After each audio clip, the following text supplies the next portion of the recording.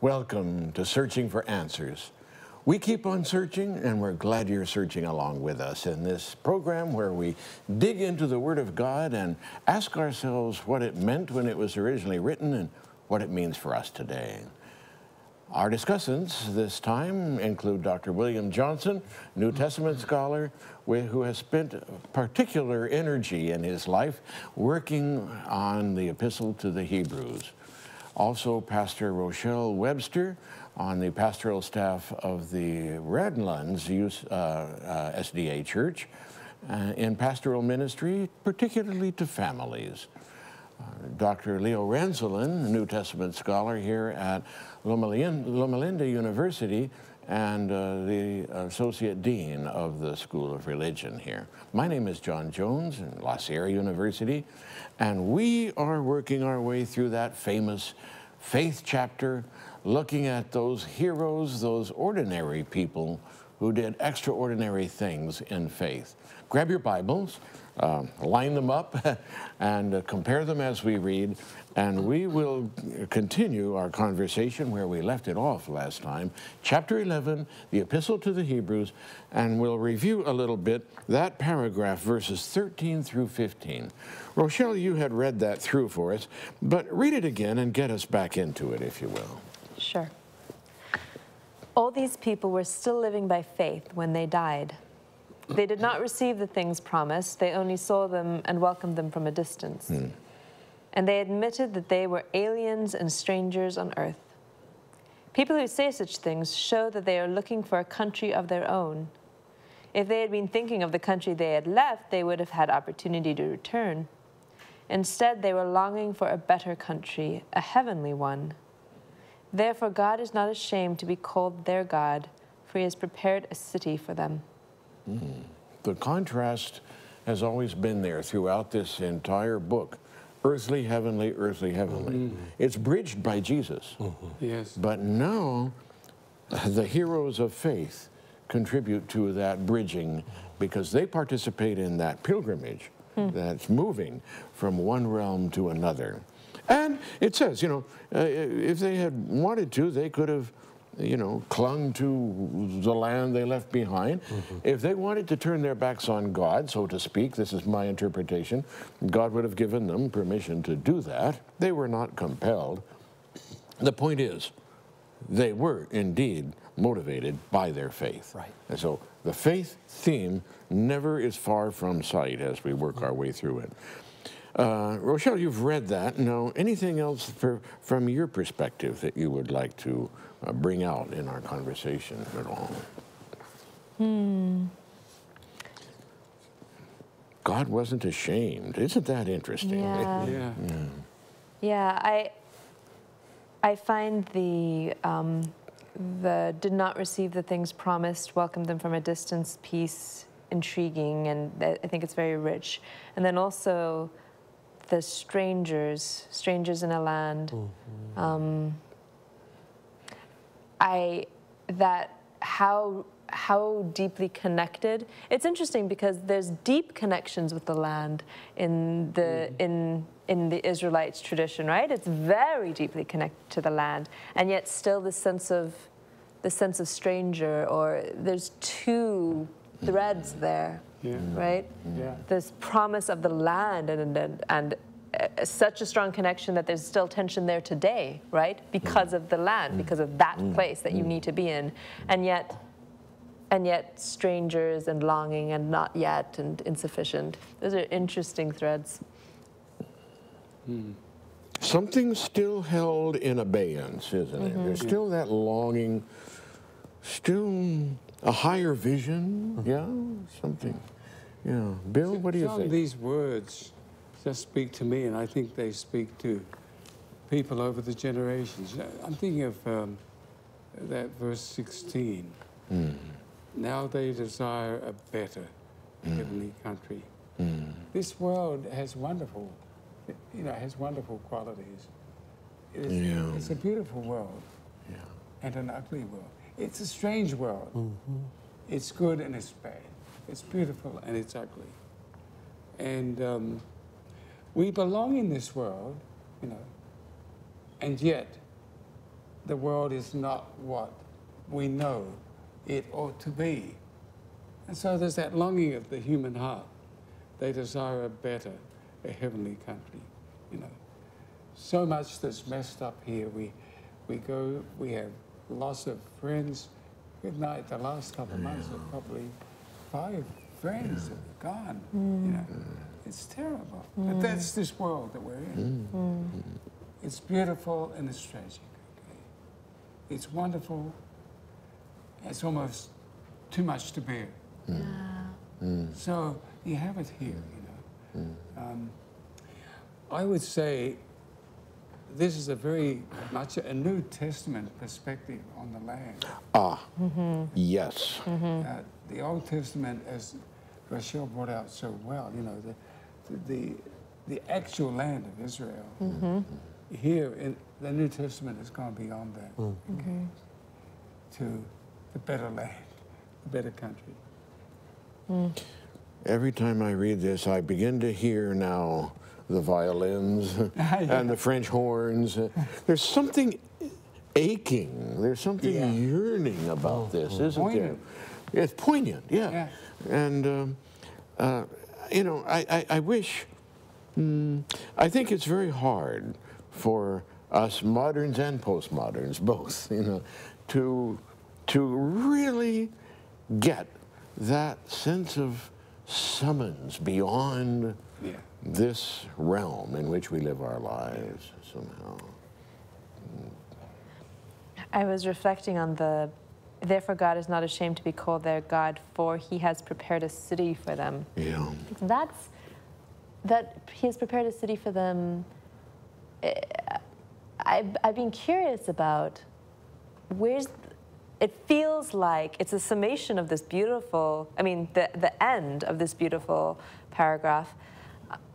And so there's an emotional punch there. There's something deeply evocative, and yet I've sometimes read it and been like, what is it? What what is the emotional appeal at that very end of the fact that God has made a city? And I think that it's more than just. I, I just imagine, I imagine Abraham, right, mm. who was familiar with cities that was along the rivers, that was stable and known, and to leave the comfort of the river where there's life in the desert and to to go off into this completely new direction where cities might have been rumored mm-hmm. right? Mm-hmm. But you're mm-hmm. crossing the desert and you have no map and you have no way and you're headed towards a city mm. that is promised a land that is promised and is promised to be people and cities and and and there will be something there for you right and he had to make that journey of of an unknown land but with this assurance that God was ahead and would make it. In, so he's going through an inhospitable place with an assurance that at the end of it, God has made something hospitable. And I think that that echo um, is loud here, is that we are going through an inhospitable place at times with an assurance that God is in front of us and has made something hospitable.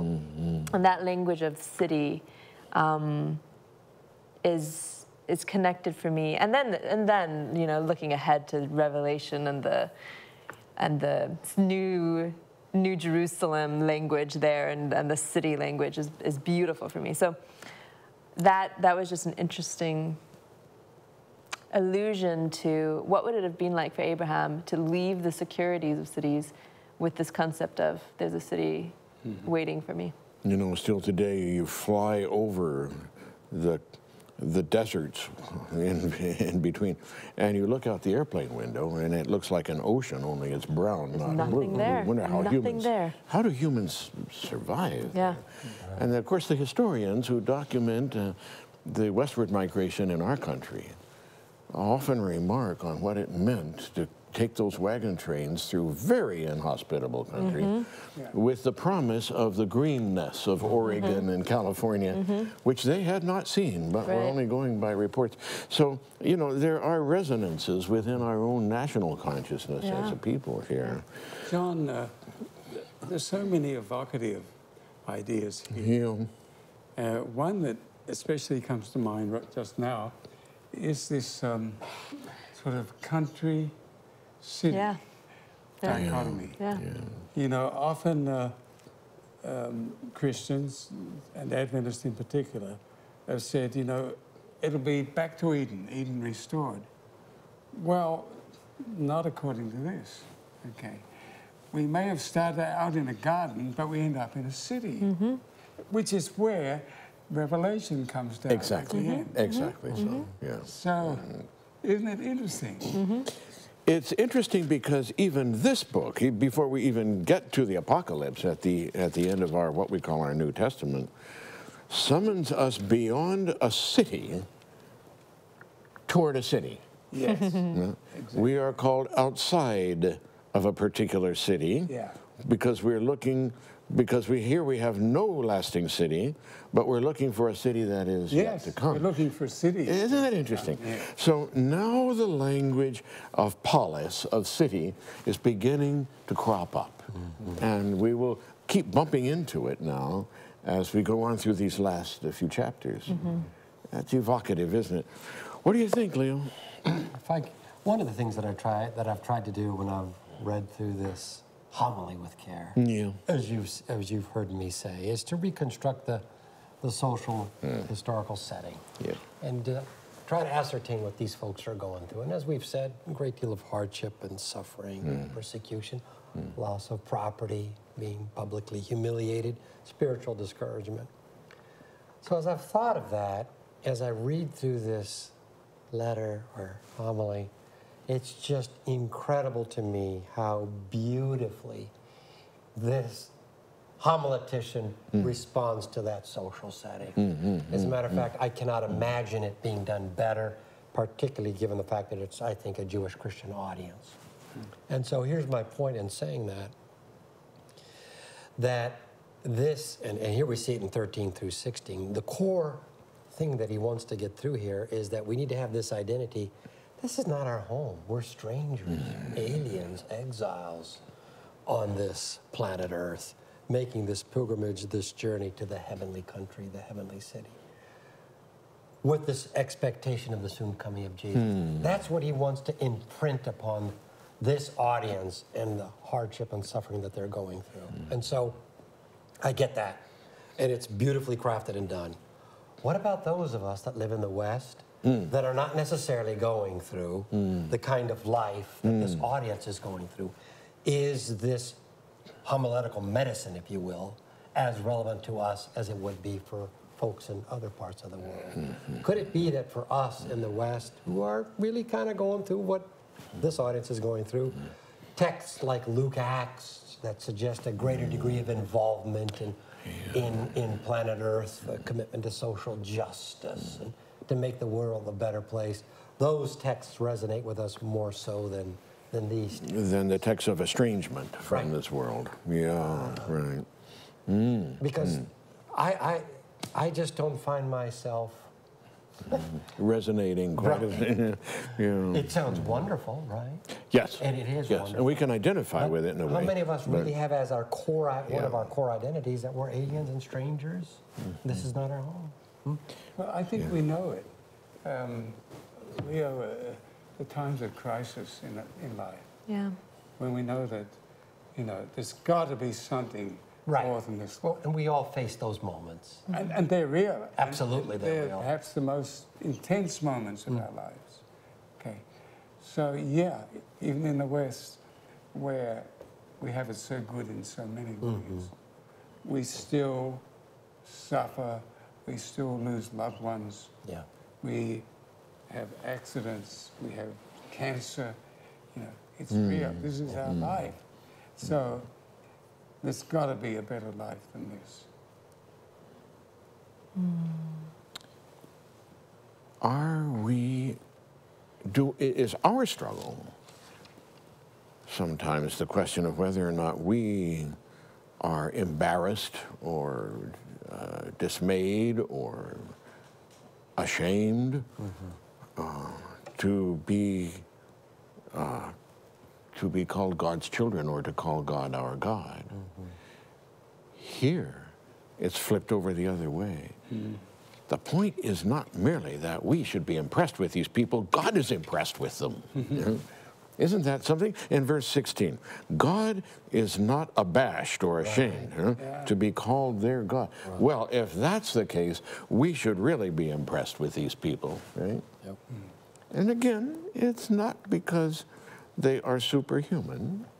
They are very human. Mm-hmm. They have all of the weaknesses that we all do, and yet God is not ashamed of them. Isn't Don't you, don't you hear echoes here of a suffering community?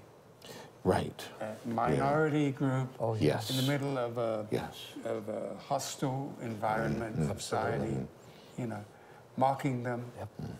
and some of them feeling ashamed, you know, almost don't want to let their faith, their religion come out. Mm-hmm. God is not ashamed Right. of his people. So, you know, So therefore, we should not be mm, ashamed Yeah. of God.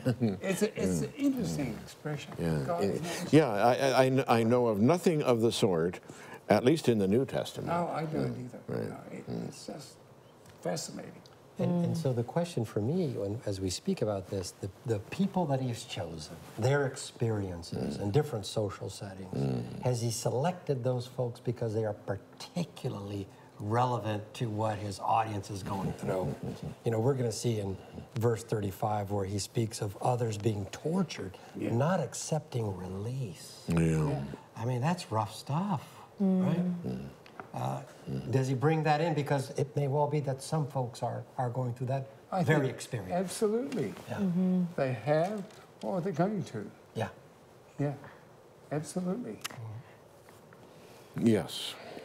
I'm just, I've just been, I got stuck on 14, the like the evocative longing Yeah. of 14. I just, I, I, sorry, I went into a little space there mm-hmm. because, mm-hmm. Mm-hmm. because people who say such things show that they are looking for a country of their own. Like that, boy, that, I don't know if anyone's ever felt like you don't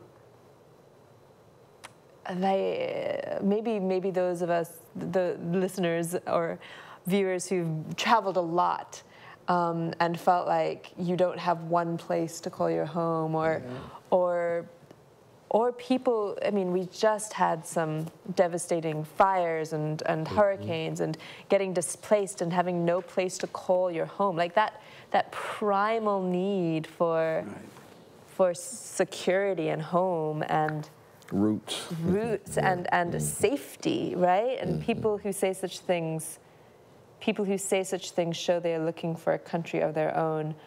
I, I just, I don't, I, I have nothing more to say other than that spoke to me in terms of just an, in, an emotional um, longing, like it touched Yeah. that. And how many people, how many people can resonate with this? I think there are a lot. Yeah. We are looking for a country of our own. And then what this author does says, you know, in the Old Testament, there was a country, um, and here it was. But, but now, the actual place will be in heaven, Yeah.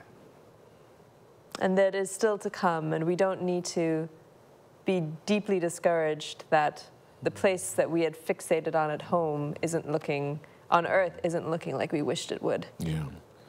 So the promise of the land is not a promise of a mundane, that is to say, this worldly land. It's of a, it's of a higher land. that's Well, it really was a promise of this land. Originally, so. And so yeah. maybe there's maybe there's this thing not seen again. Maybe Yeah. there's this kind of a, sh- uh, a glimpse of. Maybe it Uh-huh. refers to what we. They did not receive the things promised. They saw them and welcomed Yeah. them from a distance. So, Yeah, yeah. so the land that they were promised might have been a a foretaste of a greater promise. Yeah, something, yeah, something better, something better. that theme that we've seen throughout this writing now comes to the to the level of the land, doesn't it? Yeah. So, Bill, here we are with Abraham still. Mm -hmm. Now it moves to Abraham and Isaac. Do you want to pick that up for us in verse 17 and down through 22? Yeah. Yeah. By faith, Abraham, when he was tested, offered up Isaac, and he who had received the promises offered up his only begotten son, of whom it was said, In Isaac your seed shall be called, concluding that God was able to raise him up even from the dead, from which she also received him in a fig- figurative sense. By faith, Isaac blessed Jacob and Esau concerning things to come. By faith, Jacob, when he was dying, blessed each of the sons of Joseph and worshipped, leaning on the top of his staff. By faith, Joseph, when he was dying, made mention of the departure of the children of Israel and gave instructions concerning his bones. Yeah. It seems to me these are all, you know, looking forward. Exactly. You know, you know there's a future, mm-hmm. which is you know, where 11.1 took us right from the beginning, okay? Things hoped for, title deed to things hoped for, evidence mm. of things not seen. So the future is faith guarantees the future. I think that's what he's driving at over and over. Yeah. yeah. Uh, it's um, the pace quickens generation by generation now. Isaac, Jacob, Esau, yeah, Joseph. So can I ask a question that my students invariably ask? How can one have this kind of a faith? How do you get there? How do you have this kind of confidence Yeah. in the unseen, hoped-for future? They, they, it just does not seem real to them. Yeah. And they're not alone, I would Yeah. say. Yeah. hmm Yeah, that's one of the questions that I think all of us. Uh, I, I wish that all, of our viewers could uh, join the circle in a live conversation here because I think it's one of the most pertinent questions that emerges from this text. It's, it's tempting to say, despite all of the hardships and the imprisonment and the suffering, Yeah. Maybe it was easier to do that mm-hmm. in those days because they had a kind of mental predisposition mm-hmm. or a kind of a mythic structure or something going on that at least they could it, it- it could it could click for them in a way. We we wrestle without the torture and the imprisonment we still wrestle with We that live in a don't we? scientific world We do. in which we only believe that which we can empir- Yeah. empirically verify. That's the world I live in. Mm-hmm. sure And so he's speaking of, of, of an alternate oh. life and of, perspective. of and which the approach. e- of which the evidence is our faith. so that it's a, it feels to us like a closed circle in a way, doesn't it? And how do we break into that circle? How do we get there? And You some know, students this said, oh, example- oh, ye of little faith. Yeah. That I, I just I want to live and embrace this perspective Yeah. and lifestyle. Yeah. Mm. It sounds so hopeful. Yeah. Yeah. Since you bring up Jesus, you know, but he said, if you only had faith, faith like a little mustard seed faith, you'd move mountains. Mm. You know, it's it, that's takes us in another direction. But you know, Yeah. I think of this character Abraham so interesting. Hmm. You know, his life and his faith. It's not a straight line at all. It's an up and down. but the Yes, trend sir. is upward. Right. The trend is upward. The graph goes up, mm-hmm. even though it dips at times. Mm-hmm. You know, he, he doesn't have faith in um, when he's When he was down in Egypt. Egypt, doesn't have faith when Yeah. he comes back, mm. you know, makes the same mistake, doesn't have faith that he's actually, Sarah's actually going to uh, bring, us, bring forth a son. But yet, you know, late in life, you know, you have the, this incredible experience on, of Mount Moriah. Yeah. it's Yeah. but that's late in the journey. Okay. He'd been through a lot. He knew his God, and uh, he trusted God, and he came to trust God in an incredible measure that boggles my mind. E- precisely. And therefore, Leo, these ancients come to make or break situations, mm-hmm. don't they? I mean, I mean, they were, we, we read earlier that if they wanted, they, verse 15, they could have gone back. back, They could have right. come back. They somehow somehow faith is the product of, of periodic make or break moments, sometimes small, mm-hmm. Yeah. sometimes big. We today in this world who, who don't resonate so readily to the other world, nonetheless have these little decision points. Maybe the secret of this faith is to pay attention to those small decisions that we do have to make day by day. Um, still, that pertains to our lives, what we choose to uh, look at online or whatever, you know, how, how we behave toward people with whom we share the freeway, uh, all of that, you know. But that somehow the cumulative effect builds us. Abraham needed a lifetime to get there. Maybe our undergrads, even grad students, uh, would benefit from a reminder that there are still years ahead. Be patient with yourself as God is patient with you. That sounds a little trite, but it may be that it's the best we have to offer in this day, day and age, in our circumstances today. John, I have to say that, you know, uh, I've come across people, and I'm sure you all have, you know, who have walked with God. Their life hasn't been perfect, you know, in Yeah. terms Far from it. Yeah. Maybe make major mistakes along the way, but they have developed such a relationship with God.